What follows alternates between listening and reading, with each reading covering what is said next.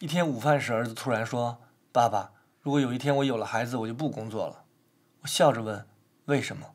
他回答：“我会天天待在家里陪他玩表演。”我不笑了，也没想好如何回答他，就说：“好。”我不敢随意回答这样的问题，只能帮助他保护着也许不能实现的梦想，并眼睁睁地看着他破灭。